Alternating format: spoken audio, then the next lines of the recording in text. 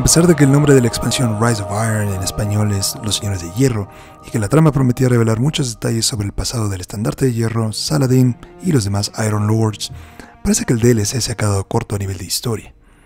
Poñino sirvió una historia que cumplió en lo nostálgico, pero dejó en la sombra muchos detalles de los Señores de Hierro que habíamos conspirado en este otro video. Todo esto para centrarse en un extraño triángulo, no sé si decirle amoroso, entre un malhumorado Lord Saladin, la bella Jolder y la putrefacta plaga de Siva. Pero bueno, ¿y qué pasó con todos los demás señores de hierro? En este video voy a darles todos los detalles que hay hasta ahora disponibles, así que vamos a darle, que es con todo. Haciendo un breve recuento para todos, recordemos que tenemos como tal 8 señores de hierro en el juego. Estos corresponden a los 8 artefactos disponibles en el Templo de Hierro, que son los siguientes: Radegast, Cinemar, Tamerlan, Felwinter, Scorri, Perun, Gelion y Jolder. Ellos forman parte del primer grupo que conocimos con las armas del año 1 del estandarte de hierro, el cual es una pequeña parte de los cientos de señores de hierro que había antes. Son los VIP. Ya con eso claro, dentro del juego hay hasta ahora dos opciones para tratar de aclarar un poco el pasado y misterio de los Iron Lords.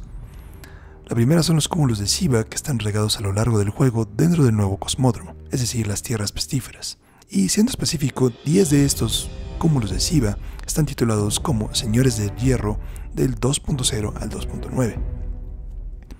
Lamentablemente el contenido de estos es muy triste si lo comparamos con las cartas de Grimorio de los 50 fragmentos clasificados que daban a lujo de detalle toda la historia de la colmena y sus orígenes en The Taking King. Realmente esperaba algo de esta magnitud, pero en su lugar tenemos uno que otro párrafo un tanto escueto sobre cómo fue el desenlace y muerte de los señores de hierro. Esto me parece un desperdicio ya que, salvo el hecho de darnos información de que Finala, Colovans y Ash Raven, que forman parte de las armas del año 2, y que también estaban en la pelea final contra Siva, todo ya queda muy claro en el pequeño trailer que nos muestran al principio del juego. Muerte y destrucción de los señores de hierro. Así que, tener el lujo de detalle qué pensaban en el momento de morir no me deja satisfecho, la verdad. Y se me hace un tanto freak. La segunda fuente de información disponible es el cuarto central del Templo de Hierro, donde tenemos las estatuas de los Iron Lords, que al ser activadas con su respectivo artefacto, logran liberar una carta que profundice un poco con la historia de cada uno de ellos durante la época de guerras contra los Warlords, que eran personas al igual que ellos con los dotes del viajero. La gran diferencia era que usaban la luz para aterrorizar a los diferentes sectores del cosmódromo, es decir, eran los chicos malos. En caso de que no tengan las nueve cartas de Grimorio, les voy a dejar un link en la descripción del video y en esta tarjeta de YouTube para que las lean. Y en caso de que les dé hueva leer, el resumen de lo que aprendimos de cada Señor de Hierro es lo siguiente. Primero tenemos a Radagast, que él es el que dio el origen al nombre de los Señores de Hierro como el grupo. Forma parte de la camada inicial junto con Saladin, Jolder, Perun, Petromart y Dietrich. Él como tal es el líder, el rey Arturo. Scorry es una hechicera de su clase solar y la creadora de la canción de hierro y tiene un temperamento algo conflictivo y un tanto sarcástico. Y aunque parece estar enfocada siempre en sus canciones, es un buen elemento con una gran memoria. En lo que respecta a Tamar o Tamerlan, es un hechicero de su clase arco. Quiere ayudar a Feldwinter a encontrar su origen, así que son bastante cercanos. Se encontró primero con él en las oquedades del cosmódromo, lo que llevó poco después a que Feldwinter se uniera a los señores de hierro. Probablemente él lo convenció. Con esto después se construiría el Templo de Hierro y bueno, la historia ya la sabemos. En lo que respecta a Silimar, él es el arquitecto del Templo de Hierro. Algo testarudo y perfeccionista, en las cartas de Grimorio nos dicen de una creación de él que nada más no puede mantenerse en pie, ya que ha sido destruida por distintos enemigos múltiples veces, 11 para ser exactas. Entonces, cada vez que ésta se destruía, Silimar se encargaba de construirla nuevamente. A pesar de todas las críticas de Saladin, Silimar siempre tenía una buena razón detrás de esto y por si fuera poco, tenía una nariz bonita, según Scorry.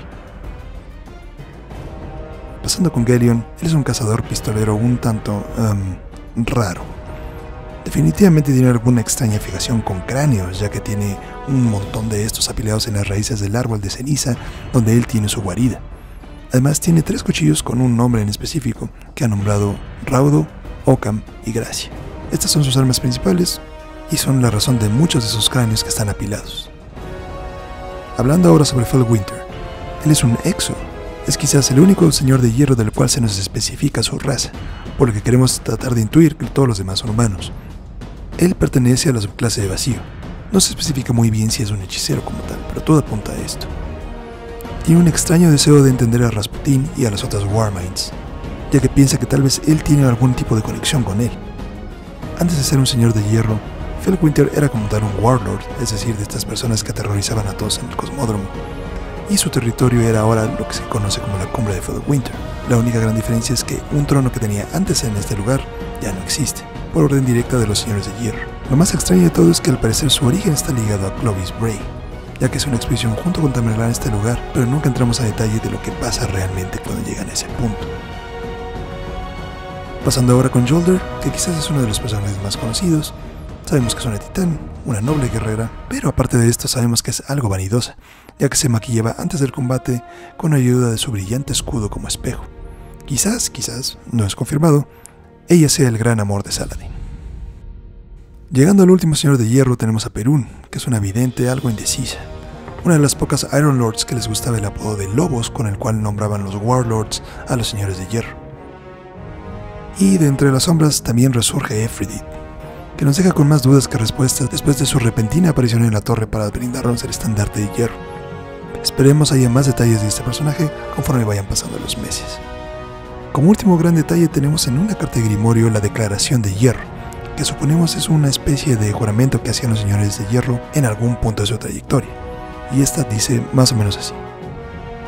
Y cuando los señores de hierro reivindiquemos un derecho por el que merezca la pena luchar, inmortalizaremos nuestra victoria con un templo, con una baliza que puedan seguir todos los que caminen por el páramo.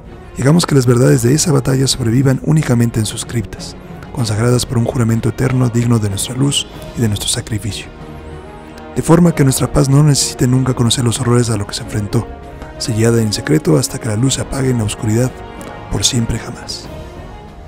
Y con eso llegamos al final del video. Ahora me toca preguntarles a ustedes acerca de cuál es su señor de hierro favorito.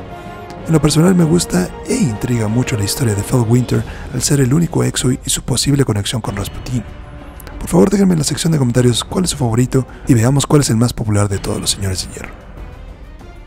Muchas gracias por ver el video guardianes, en caso que les haya sido de utilidad, no duden darle like, suscribirse o compartir el video para más noticias de Destiny y los señores de hierro. Despides amigos de la Tech, estamos bien en órbita,